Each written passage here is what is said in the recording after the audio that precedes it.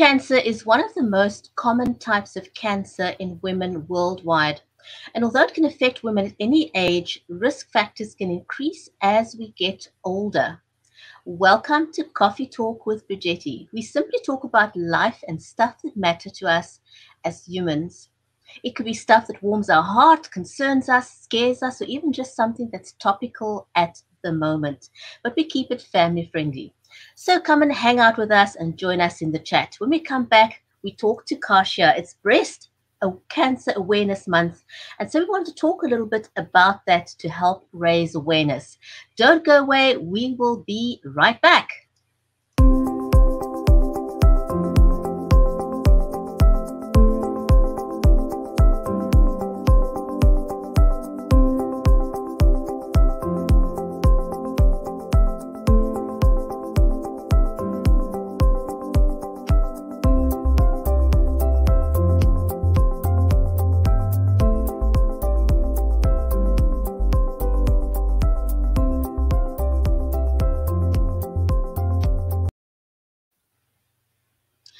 Welcome back. If you're just joining us, welcome to Coffee Talk with Bridgetti.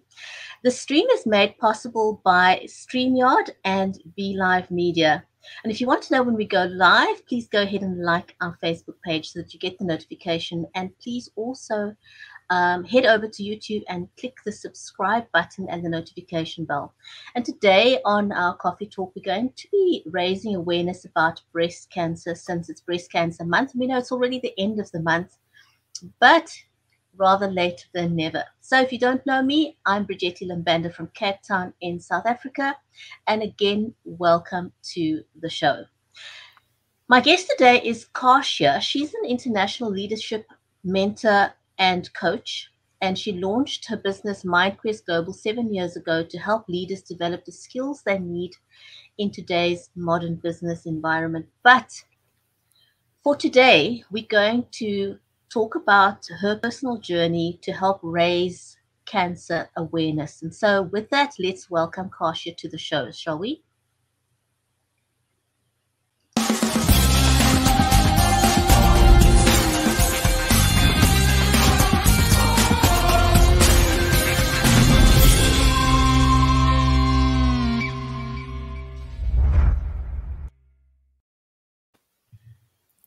Kasia, welcome to the show. Great to have you.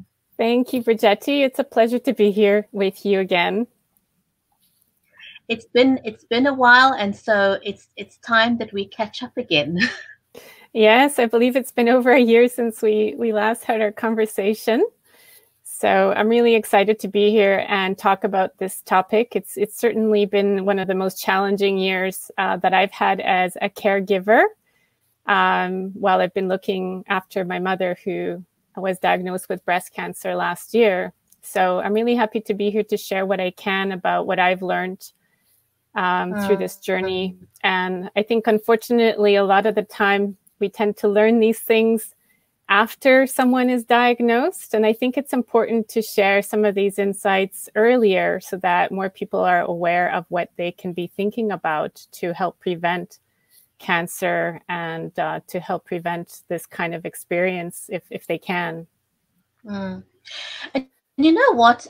It's been a trying time, you know, having cancer, a disease, any kind of illness is difficult at any time. You know, there's no good time to have a disease. There's no good time to be ill. There's no good time to be a caregiver. But I think during COVID, uh, has added another layer of complexity to living with a disease, to caregiving, to dealing with it. Um, you know, hospital visits, everything has been very, very different and challenging um, this year. My my my dad um, died almost two years ago, and you know, I talk often about how challenging it would have been had we needed to give him the level of care that he needed during COVID. So my heart really goes out to anyone um, that is needing to do this at this time. But let's circle back to your mom and how she was diagnosed. Can you talk a little bit about the, the process of um, of her diagnosis. Yes, sure. So, you know, my, my mother was going for regular screening in Canada, and the regular screening included um, mammogram checks. She was actually getting a mammogram done regularly. Um, I understand, you know, the normal process in Canada was to have both a mammogram done and an ultrasound the very first time. But the follow up was only done with mammogram. And unfortunately, in her case, that didn't show her her cancer. And a lot of the time, mammograms do miss cancers, even though that's the, the most prevalent screening test that's used. Mm. Um, the other thing is, you know, when we later looked at her medical records, we saw that when they looked at her mammograms, they saw some things and they just noted that it was probably benign. Mm. Uh, and no one sent her for a follow up uh, of any kind with an ultrasound after that very first one. So, what actually happened is that we were on vacation in Europe, and my mom told me that she had a lump of some sort and that she was a bit concerned about it, but that she'd been for a mammogram in February. And then we, you know, we were meeting up only a couple of months after that mammogram. And so I decided to take her for an ultrasound within that week and the reason I knew about the ultrasound was because I'd gone. While you my, were in Europe. While we were in Europe, yeah. I had done my own screening earlier in the year in Australia, and I was sent for both. And uh, mm-hmm. I knew then that you know perhaps it would be a wise idea to take her for for the ultrasound to at least have an idea if you know if that may show something. And unfortunately, it did. Um, she had already, you know, a three centimeter tumor in her breast. And at that point, they didn't know if that tumor was malignant or benign. So she had to go for a biopsy in Europe.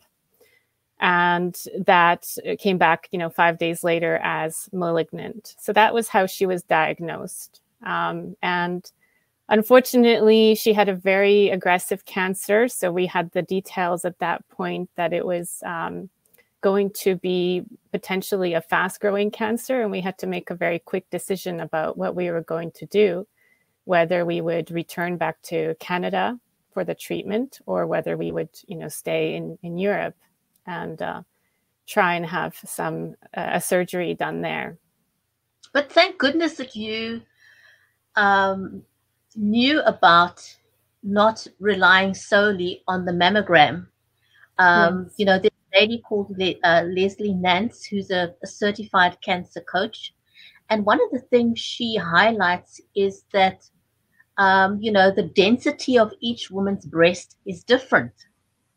And so, because of that uh, density, chances are high that cancer can be missed in a mammogram. And so, you can't solely rely on that. And I think it's important that women know that because it may give us a false sense of security um, if we rely only on the mammogram. You know, people go every two years or four years or whatever, um, and they kind of get the all clear, and they think, well, I'm okay. You know, even if I, I have a lump, the mammogram said there's nothing, so it's okay. Exactly. Yeah, and that's that's one of the reasons I wanted to talk about this because you know, from everyone that I've talked to, there women are not aware a lot of the time that it would be beneficial to also have an ultrasound and that they can be asking for an ultrasound to go along with the mammogram. Uh, because you know potentially the ultrasound will show something potentially the mammogram will show something and the ultrasound won't. But at least it's some sort of backup because there's not you know unless you go for an mri there's not really a, a clear uh, tests, that's 100%. The MRIs are, are more reliable, but of course, a lot more expensive for, for a medical system. Mm. So, so I think what we are saying is that um, look at be be open to looking at other options, if, especially if you have a lump. Um, be open to getting it checked out. You know, do more than one test. Yeah, I would always, you know, for myself personally, I'm, actually going on Monday and I've requested, you know, both to be done at the same time. Um, and uh, I, I, would definitely continue down that path down the road. I wouldn't put 100% of my trust just in one of those tests. And the other thing is, I will definitely be asking to see my own medical records and, and to read them. And that's not standard practice here in Canada. They tend to stay with the doctor. I think uh, that's not just in Canada. Um, I think that happens everywhere else you know and and sometimes people kind of you know well the doctor knows best. Some people have that kind of um what do you call it? Take on life that you know the doctor knows everything. Trust the doctor. But i think what one wants to say is that you need to empower yourself and ask for your medical records so in your experience why would you say it's so important to ask for your medical records and to know what's in there? Yeah. Well, you know, for one, um, the the records are being reviewed by a radiologist, right? And they have to make some sort of an assessment right then and mm. there. And they see so many of these um, every day, right? Then that assessment then goes to the doctor, who also tends to be extremely busy here in Canada our general practitioners are maxed out completely. It's so hard to even get a general practitioner of your own. Um, and so the busyness factor, for one, um, if you don't, you know, take care of yourself first, then I think putting 100% of your trust that somebody else is going to check all the boxes and make sure that nothing falls through the cracks you know mm. it, it's a bit risky from that perspective not to say of course the doctor most likely uh, wants to do the right thing and uh, isn't intentionally missing you know something um, in your care uh, we have a my mo- mother has had a lovely doctor who really takes her time you know but unfortunately in this case the system was that the, the only the mammograms were being done as a follow-up. And it's more of the system issue that this this fell through the the cracks so to speak. And unfortunately it was missed for at least a couple of years you know two and a half years or, or so. Um, i would say That's say a long time yes it is a long time and so it got to the point where by the time she got her diagnosis she had stage three cancer we're so lucky that we caught it in time uh, unfortunately, then when she had her surgery in in August, you know, they had to take out a lot of lymph nodes because they did find those initial lymph nodes did have cancer. So they ended up removing 18 lymph nodes, and that's a, a lot of lymph nodes to be losing under your your arm. Um, you know, it, it's created a lot of pain for her. So if something is caught earlier, that surgery is going to be a lot more minor um, mm.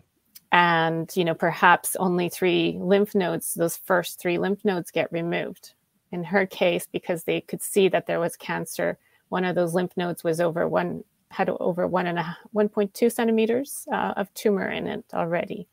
So it was there for quite a long time.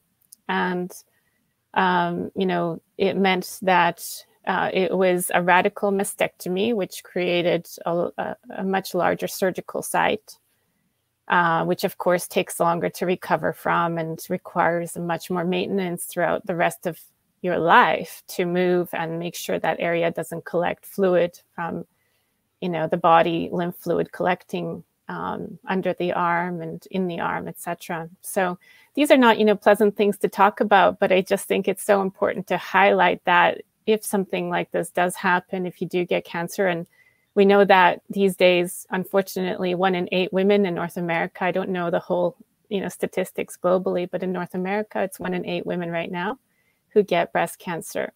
And the sooner we can possibly catch it, the more minor the surgery will be. And, you know, hopefully you don't have to go through the whole extent of a, a treatment, which is pretty, you know, heavy going um, to get mm. through chemotherapy and radiation on, on top of that. Mm. Um, yeah. Let's talk a little bit about um, your mom's journey with cancer and um, and mindfulness How has has mindfulness impacted her cancer journey? Well, you know, I'll say it's still a, a work in progress. Um, you know, it, it's something that for her um, has been a shift in the sense that she worked very hard all of her life. You know, she actually had a very stressful uh, business. Um, and she didn't really take the time to look after herself because she was so busy with everything else in her life. But doesn't that happen to a lot of women? It does, yeah, and that's that's you know why I'm talking about it now. I mean, as a as a leadership coach, I see this all the time, right? We have a culture of busyness, and well, both men and women are spending a lot of time stressed right now, uh, and so that chronic stress, the ongoing stress, it produces you know, cortisol levels in the body, noradrenaline levels, it leads to that fight or flight response. And so my mom was living a lot of her life in fight or flight. She was looking at the clock, running around, not always eating properly, not really always, you know, she used to go to the gym, but she stopped going to the gym. Um, and really just kind of um, neglecting herself, which she's now aware of, you mm. know and very sad about. I mean, of course, she has regrets about how she um, neglected her her own care, um, which at the time she she didn't realize it would have this kind of impact, right? So she's a lot more mindful about you know what she's eating, um, getting out for walks every day. I mean, she's now retired, so she's got more time, but overall, you know, it's just really that conscious living of you know what you're doing with your body every day what you're doing with your mind. Um, because you know the risk factors for cancer are this tendency to be running around you know taking care of everything around you uh, being you know sacrificial in how you take care of everybody else but not taking care of yourself uh, and uh, these these are the kinds of things that actually boost uh, inflammation in the body. And we know that when there's inflammation that is a huge cancer risk because the body is trying to fix itself in certain areas. So wherever the cancer might arise that's an area often where there's been inflammation. And the multiplication of cells these um, you know inflammation factors that are released into the body often result in, in cancer. And so if uh, people are living in, you know, in despair with the sense of helplessness that they don't have control over their lives or their schedule, um, and everything else is sort of happening to them instead of them stepping back mindfully and taking um, some level of responsibility for their own health and well-being uh, having those tough conversations to you know sometimes set boundaries with work with a partner um, and being very clear about what you need to maintain your own health you know is so important uh, and mm-hmm. this is an area that i end up talking to a lot of my clients about because no matter what they're doing sometimes you know it's easy for things to get out of control and we have to sort of rein it back in and look at well what do we need to prioritize?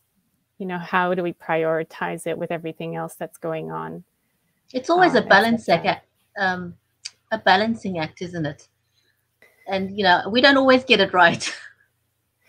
Well, and you know, it's it's interesting because there are a few different schools of thought about that, right? So there's always the talk of work-life balance, right? But there's also uh, actually just making the decision that this is going to be an essential part of your life and that prioritizing your self-care whether it's that 30 minute walk that you need to do whether it's you know 20 minutes of yoga um, to just get your mind to be at peace um, it, it's whatever you personally need to prioritize to have a sense of you know calm and well-being in your life despite everything else going on around you. And certainly that's been a, a huge test this year with the pandemic. Uh, but I see it anyway, you know, even years before that, when when you get on that treadmill of busyness, it can be hard to stop. So just pulling back and really assessing actually, you know, what's needed, simply making it a priority and non-negotiable. Mm. Um, that's what allows you to create that that balance. You know, talking about the mind and mindfulness, um, I think we often underestimate the power of the mind. There was a, a friend of mine in Canada said something the other day, and it, it struck a chord with me. And he was saying that you know he stopped smoking on this day after he'd been smoking for many years, and he says the reason why he stopped smoking on that day is because he wasn't trying to stop smoking. He decided to stop smoking. It was a mm-hmm. conscious decision made that from that day forward, he was no longer going to smoke. He wasn't trying, he just did it. And, um, you know, and I think for a lot of people, when you have a disease, for example, when it comes to making choices like changing your diet because you now have a life event that determines um, that you need to make a radical change in your diet. And guess what? You make up your mind. You have to make up your mind then to make that change. Now, Leslie Nance, that I spoke about earlier, who's a cancer coach, she also said something interesting, um, talking about eating and diet. Um, she said that when you eat, you are either feeding your body you are either feeding your mind or you are feeding your disease, and in this case, cancer. Mm-hmm. So, what you put in your body is either, you know, either going to be good for you, heal your body, or it's going to be feeding your cancer, promoting the growth of the cancer. So, those are decisions that you then need to to make, and empowerment is then so powerful, so that you can make the right choices. Yeah, and and you know what we've learned is that diet plays such a huge part in this. You know, so one of the first things my mother had to do is stop sugar because sugar feeds cancer. Mm. Um, so she does have some, you know, like she does eat fruit, um, but other sugar she has completely cut out. Um, and you know, I, I was actually looking at some studies that were done because one of the key things that a lot of people think that you know if you have this genetic predisposition uh, for for cancer you know with the um, the uh, BRCA1 and 2 genes, a lot of women who have those genes tend to have a double mastectomy done, like Angelina mm. Jolie did, right? But there was a study that was done, it was interesting, at the University of Montreal, where they looked at the risk of, um, you know, actually getting cancer, re- the, the reduction in the risk by simply diet and eating more fruits and vegetables. And what they found is that the women that were eating at least uh, 27 different types of fruits and vegetables a week, so the variety was really important. Mm. They had a 73% reduction in actually getting cancer Whereas, you know, that's it, huge. That's huge. It is huge, yeah, and it was considered, you know, kind of like, you know, well, no, you know, you're you're pretty much guaranteed to get cancer with those genes. But I think it's it's important for people to just be really aware that it used to be that we had this mindset that our genes, you know, this is how they they dictate our our health, right? But genes are regulated and controlled by what we put into our body and some genes are expressed. The the mm. proteins are produced based on that expression of genes. So this is you know something that we've discovered over the last number of years um, and that's that's why diet makes such a huge difference. That's why controlling stress levels makes such a huge difference because what's produced in the body is then different. It's like, you know, putting different ingredients into into the soup, right? Into your own body. essentially. That's um, exactly what it is. Yeah, and they found the same thing, you know, with prostate cancer when men were eating um, omega-3 rich fish with, you know, oily fish like salmon, they were getting a mm. reduction in in cancer. Yeah things like green tea. Green tea is actually extremely good It apparently reduces cancer by up to 50% because it has certain compounds uh, in it. One, one of the compounds is ECGC, I believe.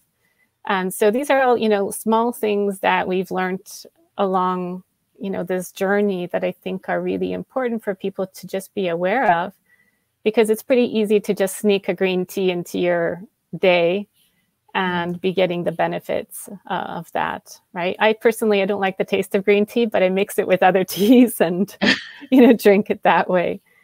It's um, an acquired taste but you know i find that when i've i haven't cut out sugar completely from my diet but i have reduced it significantly and it's amazing how your taste buds adjust. Um, and i'm finding that my coffee tastes different. I'm tasting the coffee more. You know, uh, everything else, I'm I'm really tasting things better without the, the sugar component. Yeah, well, I so a lot of it's mind over matter. It yeah. does, yeah. I used to ha- take sugar in my coffee and tea years ago too, and I did stop. Um, I, I personally cannot even have a coffee now that has any sugar in it because I actually really love the taste of a good coffee. So you're right. Your your taste buds ad- adjust, and um, you know now if I I'm given a coffee by somebody else. I, I had this issue when I was traveling in Indonesia, when I was traveling in Morocco.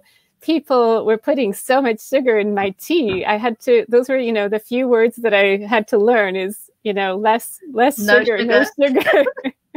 so along with you know hi bye how are you? I learned how to say no sugar please in indonesian.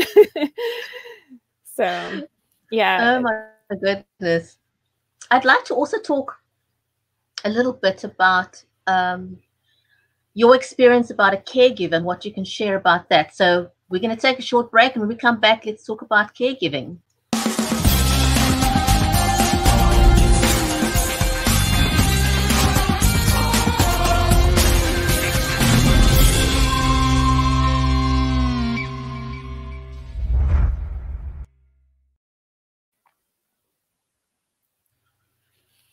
Thanks for staying with us.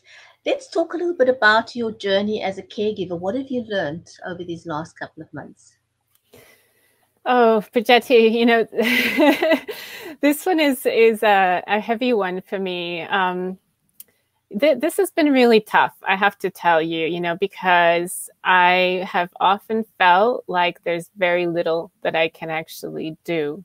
Um, you know, that there's uh, my mom, my mother had a lot of different symptoms throughout this journey, throughout chemotherapy, throughout radiation, um, and often I had this feeling of um, helplessness, unfortunately, because uh, a lot of the time we couldn't work out what could be done, if anything, about some of these symptoms. You know, so she spent about a week 10 to 10 days having a lot of digestive problems, not being able to sleep um, and you know having um, neuropathy, loss of feeling in her leg, and you try and you know seek help. A lot of the time that look like you know calling the nurse line and sometimes spending up to three, four, five hours on the phone talking to different people and trying to find some solutions. You know, so so it's a really time consuming thing that um,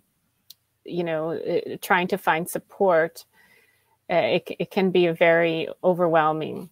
Um, and for me, it's it's been a big challenge because I've been balancing running my business because I didn't want my business to disappear completely while I became a caregiver. Sometimes I've had guilt with that because, you know, I felt like maybe I need to be dedicating more of my time as a caregiver. Um, let's say that uh, I think the biggest things that I've learned is the things that I wasn't prepared for, the things that I'm not very good at, the things that require more growth, you know, um, the the importance of having my own time and space to maintain my sanity. You know, I, I've been doing yoga every day and uh, even though my classes are all closed, I've been just taking my yoga mat for 10, 15, 20 minutes outdoors and doing yoga outside because then I can be calmer and I can respond to situations that come up, you know, in a, a much better way. Whereas if I didn't do those things, um, you know, there's a natural sense of anxiety that comes up when dealing with, you know, various different side effects uh, in general. There, you know, I've, I've gone through months of grief. Um, I had to look up what that what that was about because, of course, my mother is still here, um, and I was going through a stage of an- anticipation that we don't know what's going to happen if she's going to survive, how long she's going to survive, and and that was really really tough for me to to balance. I felt quite exhausted, and on top of you know everything else that's been happening the the past few months, uh, that was a lot. So I would say I think that's mm-hmm. a lot of people miss that uh, about the caregiving process is that you almost you know you're constantly living with that sense of loss because you've actually lost a healthy mom is what you've lost right because you have this expectation of health that this person is going to be with you for you know we can't really say i mean life is is there's no guarantees in life but when it comes to people in our circle, family, people that we love, we want them around in our lives for as long as we can possibly have them. Um, and when somebody gets a diagnosis of a disease that could potentially lead to loss of life, and if you're that intimately involved with the person in the process of caregiving, you're really dealing with a lot of stuff that other people don't see. Yes, yeah, most definitely. Um, you know, and and a lot of that is hard work, and very often the patient doesn't want you to have to deal with those things because they feel embarrassed um, or they feel like they don't want to be a burden or they feel bad because they're taking up your time. They feel bad that they're taking up your energy. They feel bad that they're taking you away from your your job or your family.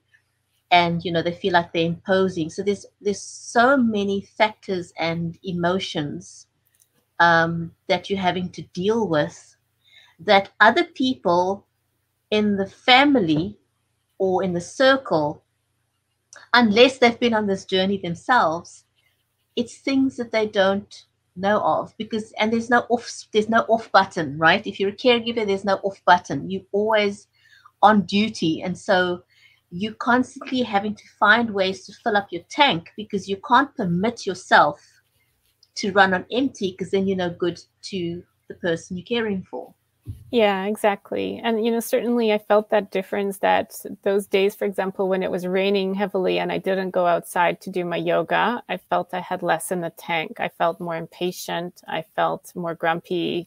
It was easier for us to clash. And, you know, we haven't I'm, I'm living with my mother now again after so you know decades. I haven't lived with her since i was 19 so of course that brings up its own complexity and in general as you said that complexity of emotion the complexity of everything that you're going through. It, it's it's a lot to navigate and you know working on our own communication internally so that uh, i understand really what she she wants and needs. Um, it ha- has been something that's been very helpful, you know, for us because there can be sort of this idea of expectations, and if those ideas aren't discussed about what really is needed, then mm. then I was feeling like I really need to be 100% available all of the time, which is impossible, really, in the end, you know, to to do and and I was also, you know, working with my own you know, executive coaching clients, um, which sometimes, you know, I, I, was really debating: do I continue to do that and offer, you know, my time, uh, or or do I need to reduce it? But in the end, because I love my work so much, I was finding myself energized at the end of the sessions, and I could bring more energy to the the whole situation. So I had to really just watch myself as we talked, you know, we're talking about mindfulness. I had to really observe mm-hmm. my own energy, uh, observe my own responses, interactions, communication. You know, certainly I haven't been a perfect caregiver. I've had to learn a lot, a lot of new recipes as well, because, you know, I've been living in Australia the past few years and eating a lot of Asian food. So I have a different palate. and my mother can't eat spicy food. So I've had to learn a lot now in terms of how I can support her and what, what she needs throughout this, this year. And yeah, I, I would say that um, right now I'm still in that process of learning to support her. It's not something that's done ever. and don't you find that also one of the um, challenging things is trying to manage your own internal messaging and feelings um, because you don't want to transfer any positive, you know, possible negative energy that you have onto the person that you're caring for.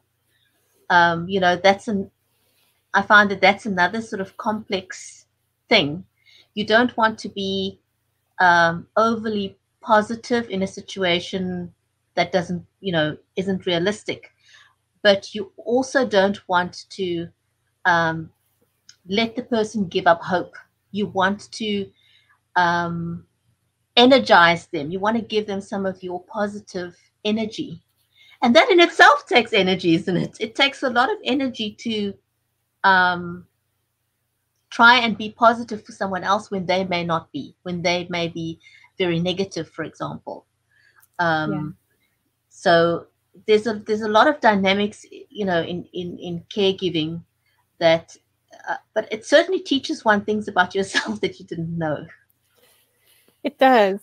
Yeah. And, you know, I would say that one of the key things that um, you know, I, I, tend to be overall quite optimistic and positive, and, you know, I was really trying to provide a lot of encouragement, encouragement, and and help to facilitate um, a, a, shift in thinking.